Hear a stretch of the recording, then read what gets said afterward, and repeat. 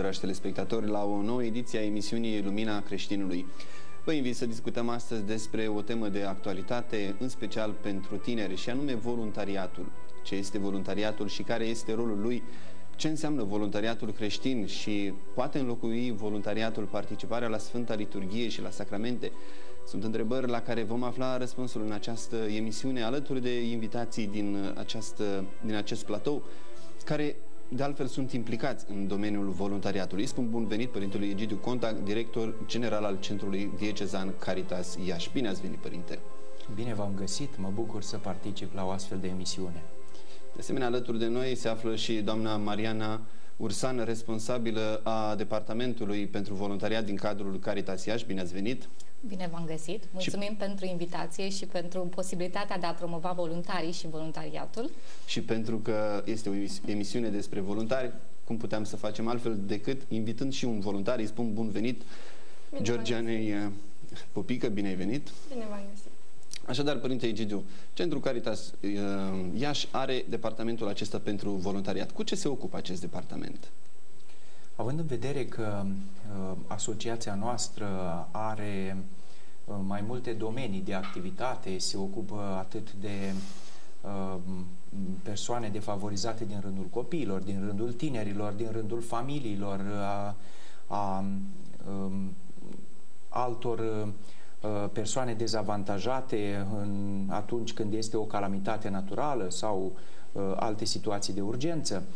Uh, este foarte important să avem și această componentă a implicării voluntare, pentru că pe lângă profesioniști uh, e nevoie de o echipă mult mai mare care să intervină și nu numai de intervenit în uh, situațiile concrete, dar și de a învăța să se implice în ajutorarea aproapelui.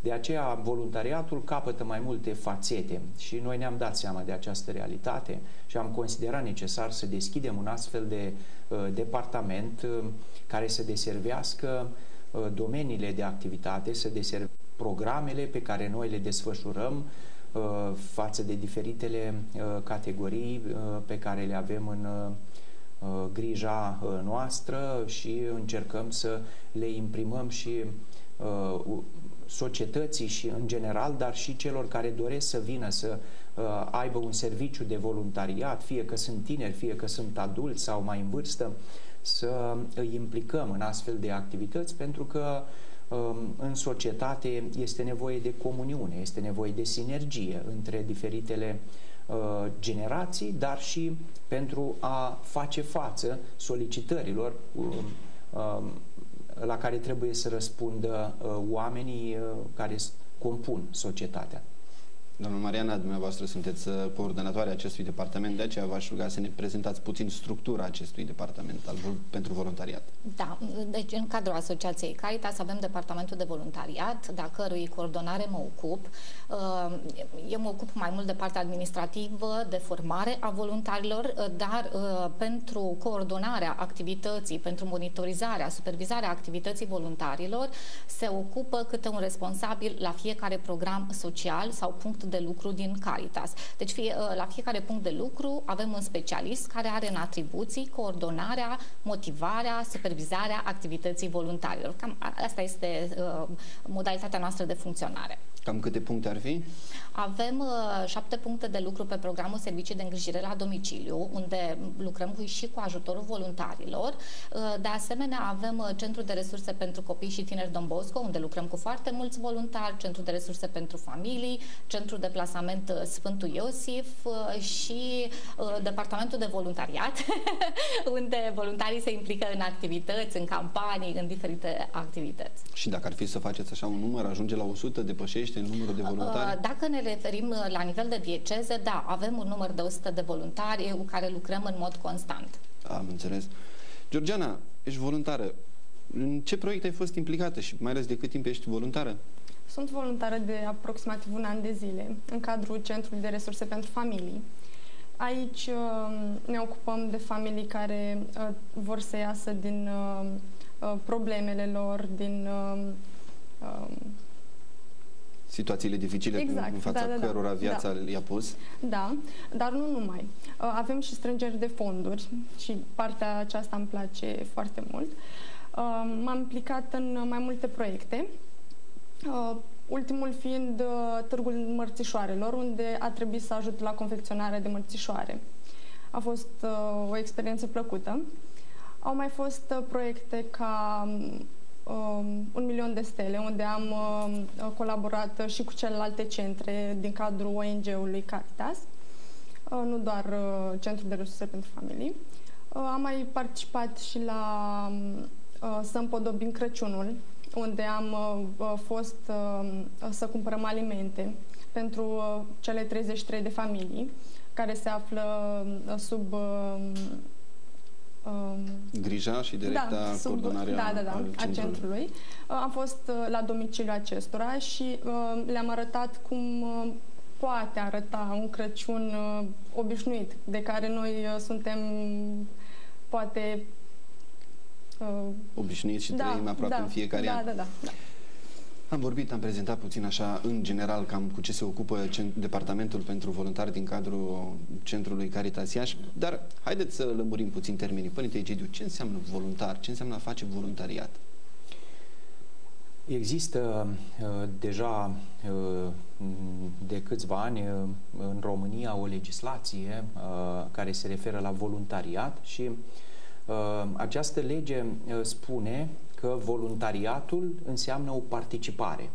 Este participarea uh, persoanei a fizice, că de obicei ne referim la persoane fizice, la activități care au un interes public um, și care sunt organizate de către asociații, uh, de către persoane juridice în general, în folosul uh, altor persoane fizice sau în folosul societății în general, al comunității și um, Um, este o activitate fără remunerație um, și se poate desfășura fie individual, fie în grup, grupuri de uh, voluntari. Așadar, uh, vedem că voluntarul nu lucrează în numele său, ci lucrează în numele unei organizații, a unei asociații. De altfel, între timp, uh, colegii din studio vor derula pe micile ecrane câteva imagini din activitățile pe care le desfășoară voluntarii. Vă rog, continuați. Da, spuneam că uh, voluntariatul uh, nu se desfășoară la nivel uh, individual uh, printr-o inițiativă individuală, ci în primul rând uh, uh, ești cel care se implică drept voluntar, se implică în acțiunea unei asociații, a unei persoane juridice și, bineînțeles, Um, o acțiune care să fie în folosul uh, comunității, în folosul uh, societății. Um, implicare voluntarială poate fi în domeniul social caritativ, așa cum avem noi, dar poate fi și în domeniul cultural, în domeniul sportiv sau atâtea alte uh, domenii de care are nevoie societatea și care poate da un plus, pentru că totdeauna voluntariatul dă o coloratură acelor servicii care se înscriu în în, într-o ordine, să spunem așa, zilnică, într-o rutină zilnică, am putea spune, servicii de care au nevoie acești beneficiarii noștri și voluntariatul vine și aduce această coloratură, așa cum uh, uh, spunea și colega noastră mai înainte, um, implicându-se în diferite activități care uh, dau um, un sens unor momente importante din viața beneficiarilor și a societății în general. Pentru că în acest moment rulează pe ecrane imagini din activitățile pe care voluntarii le-au desfășurat. Iată că aș dori să prezentați eventual, dacă recunoașteți câteva imagini, când au avut loc, dacă vorbeam la început, vorbeam cu Georgiana că s-au vizitat bătrânii sau au fost diferite activități. Uh, da, da, dacă îmi permite să intervin. Uh, am văzut uh, imagini de la campania Un milion de stele, am văzut uh, imagini de, care o avem în fiecare an în luna noiembrie sau de, în apropierea sărbătorilor de iarnă. Am văzut uh, imagini de la campania de ecologizare care am organizat-o în luna uh, noiembrie. Uh, Aici sunt imagini de la uh, cursurile de formare care le avem cu toți voluntarii care participă la activitățile noastre. Uh, de asemenea, uh, am văzut o imagine de la campania organizată de Asociația Alături de Voi România. Aici este pelerinajul vârstnicilor, la fel activități de formare. Voluntarii noștri se implică și oferă sprijin specialiștilor pentru a putea oferi o gamă cât mai largă de servicii specializate. Da? Fără ajutorul voluntarilor nu am reușit să oferim această gamă de, de servicii. De exemplu, să vă dau un exemplu, la Centrul de Resurse pentru Copii și Tineri Don Bosco din Iași, dau exemplu din Iași, avem 25 de beneficiari uh, și doi angajați atunci este o provocare. Nu poți lucra fără ajutorul voluntarilor și noi ne-am dezvoltat o rețea de voluntariat care ajută specialiștii să ofere servicii cât mai ample și cât mai de calitate acestor uh, uh, beneficiari ai noștri. Voiam să mă, între- să mă întorc da. la Părintele Egidiu. Vorbeați despre ce este voluntariatul și voiam să întreb, a face voluntariat presupune o vârstă, presupune o limită de timp sau oricând se poate face să poți fi disponibil pentru a face voluntariat? La orice vârstă se poate face uh, voluntariat. Uh, în general știm că o sensibilitate aparte o au uh, adolescenții, tinerii față de uh, implicarea în activități, în acțiuni de voluntariat, dar uh, poate aceasta mai mult în uh, în uh, zona noastră, în România, uh, în alte țări unde există o tradiție mult mai puternică de voluntariat, acolo sunt foarte implicați adulții, sunt implicate persoanele uh, în vârstă. Practic, voluntariatul este o acțiune al persoanei, um, a persoanei umane, pentru că invită la trăirea solidarității și a disponibilității, așa cum întâlnim în documentul, în enciclica Papei Benedict al XVI-lea Deus Caritas Est, vorbește de uh, disponibilitate și solidaritate. Este ca o școală, așa spune uh, Papa Benedict, o școală de solidaritate și de disponibilitate, uh, unde nu se oferă doar ceva material sau, să spunem, din cunoștințele noastre, din aptitudinile noastre, dar ne oferim pe noi înșine. Și atunci, la orice vârstă putem să oferim ceva din noi, să ne oferim pe noi înșine, că avem o experiență mai mică sau mai mare, ceva, oricând putem să uh, oferim celui care ar avea nevoie de un sprijin, de un ajutor din partea noastră. Georgiana spunea, Părintele, că în special la tineri, la adolescenți se vede acest lucru. Sunt sigur că ai mulți prieteni. Simți la ei această dorință de a face, da. face voluntariat? Da. Uh voluntariatul nu se face fără acea dorință, nu se face din obligație, nu poți să obligi pe cineva să facă voluntariat dacă el nu dorește acest lucru, pentru că nu va rezulta absolut nimic.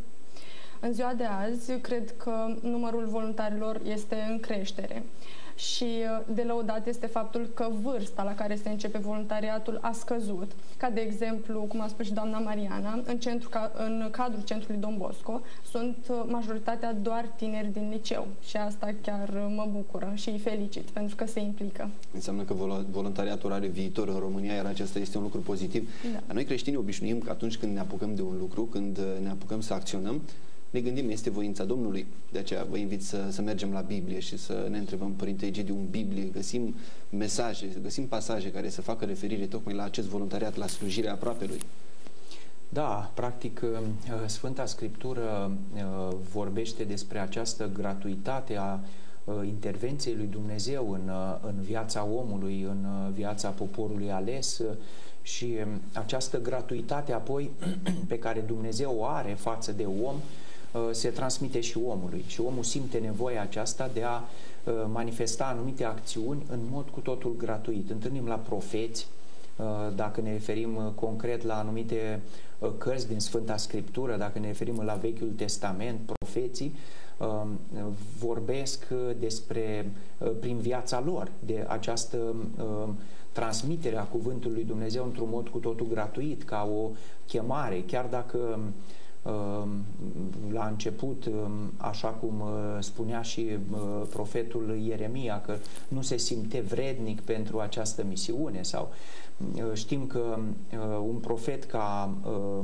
Amos a fost agricultor, un profet ca Ozea a fost crescător de animale.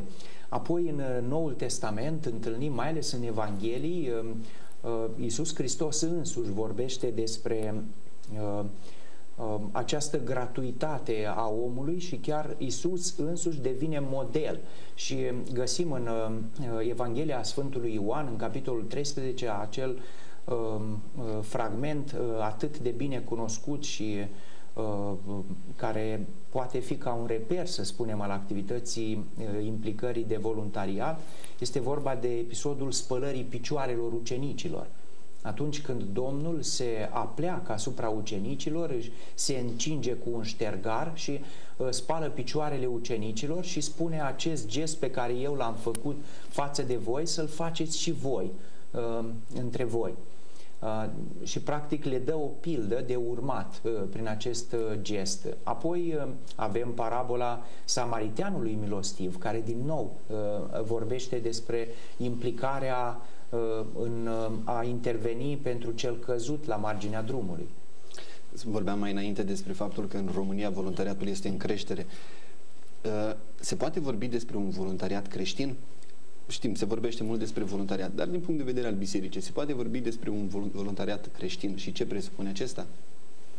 Sigur, uh, uh, voluntariatul în general este practicat de foarte mulți în lume, de oameni cu diferite convingeri, oameni care uh, au auzit de Dumnezeu, oameni care nu au auzit de Dumnezeu, oameni care o fac pentru că simt în inima lor că trebuie să Uh, se implice în ceva, oameni care doresc să uh, își uh, petreacă timpul într-un mod util, să nu ajungă la momente de plictiseală, momente fără sens în viața lor, dar astea sunt motivații, să spunem, umane, psihologice, însă voluntariatul creștin are un um, element cu totul aparte.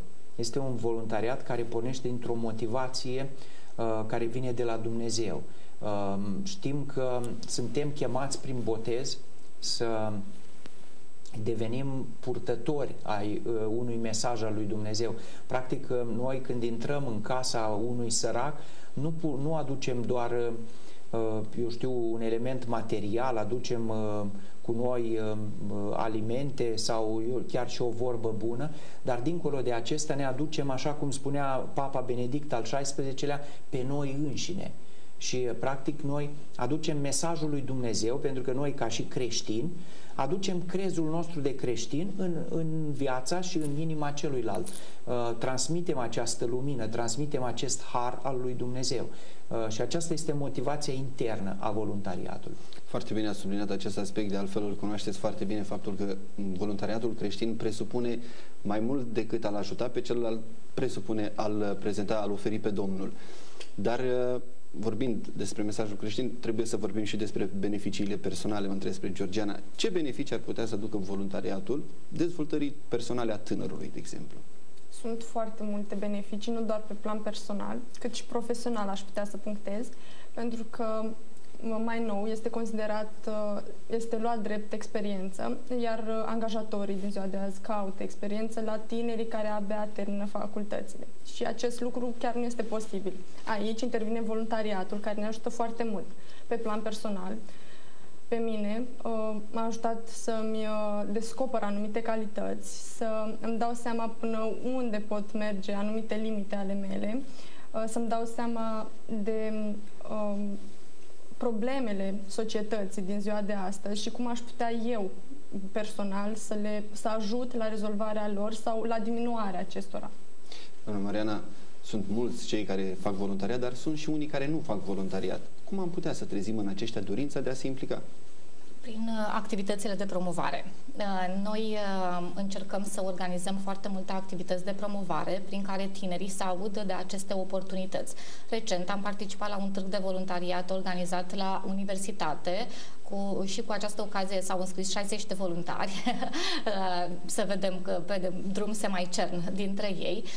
De asemenea, avem materiale de promovare, avem pe pagina noastră de site o secțiune dedicată dedicată voluntariatului și foarte mult uh, contează și uh, mi-au relatat voluntarii înscriși că asta a fost una din motivații, exemplu, motivații pentru care s-au înscris, exemplu celorlalți voluntari, adică voluntarii care sunt în Caritas, care au activități în Caritas, promovează modul în care valorizăm noi voluntarii, modul în care îi motivăm, modul în care îi monitorizăm și ce învață în cadrul asociației noastre, motiv pentru care cererea este foarte mare. Părinte Geniu, care ar fi domeniile în care este mai urgentă implicarea voluntarilor? Cred că cea mai urgentă uh, implicare este greu de definit, să spunem care ar fi cea mai urgentă uh, implicare, depinde și de timpul pe care îl traversăm, de situația uh, concretă, istorică pe care o avem. Iată, dacă ne gândim în alte țări unde sunt războaie, acolo e nevoie de implicare pentru a ajuta răniții, nu? Dacă ne gândim la refugiați, atunci în acele zone este nevoie de voluntari pentru a da o mână de ajutor Uh, a, pentru refugiați. La noi, uh, pentru că avem uh, proiecte adresate în general copiilor, familiilor sărace, dar și vârstnicilor, cred că mm, voluntariatul poate fi practicat foarte bine în aceste domenii. Copii, familii și vârstnici, aș spune deopotrivă. Nu aș putea să fac o, îmi vine greu să fac o clasificare, să spun unde ar fi mai urgent, dar bineînțeles, poate o urgență aș putea o numi, aș putea o vedea ca uh, o implicare voluntarială pentru a crește această capacitate de a ne implica uh, în societate, în comunitate. Acest spirit civic care ar trebui să crească Uh, mult mai mult în uh, România și atunci prin diferitele campanii, acțiuni pe care le facem în, uh, de sensibilizare la solidaritate, cum este și acea campanie Un milion de stele în preajma sărbătorilor de Crăciun, poate acestea le-aș vedea ca pe o urgență. Georgiana, pe tine ce te-a determinat să devii voluntar și care sunt momentele care îți plac cel mai mult pe scurt pentru că ne apropiem de final? Uh, sincer, la început uh, am făcut doar orele de practică, doar pentru asta am venit, dar pe parcurs uh, am simțit că mă integrez din ce în ce mai bine și, formă, și se formează o legătură foarte puternică între voluntari și, bineînțeles, angajații uh, centrului. Um, ce îmi place cel mai mult este că acolo poți să să exprimi toate, toate părerile, tot ce gândești, fără ca să fii critic, uh, criticat. Părinte Egidiu, doamna Mariana, pe scurt, fiecare câte un sfat pentru care ar trebui să se facă voluntariat? Părinte Egidiu. Aș uh, lansa o invitație tuturor celor care uh, pot oferi ceva, nu numai tinerilor, sigur, în primul rând tinerilor care au viitorul în față și doresc să capete cât mai multă experiență în viața lor și o pot dobândi prin implicările în munca voluntară, dar m-aș adresa și adulților și celor în vârstă care deja au atât de dăruit, atât de mult de oferit uh, din experiența lor și a se pune la dispoziția celor care au nevoie. Doamna Mariana? Da cu ajutorul voluntarilor și cu ajutorul activității de voluntariat, transformăm nevoile sociale existente la nivel de comunitate într-un munte de mulțumire sufletească. Asta ni s-a relatat de către foarte mulți voluntari devin uh, mulțumiți de ei, au încredere în ei, uh, se dezvoltă pe toate planurile cu ajutorul voluntariatului. Am ajuns la finalul acestei ediții a emisiunii Lumina Creștinului.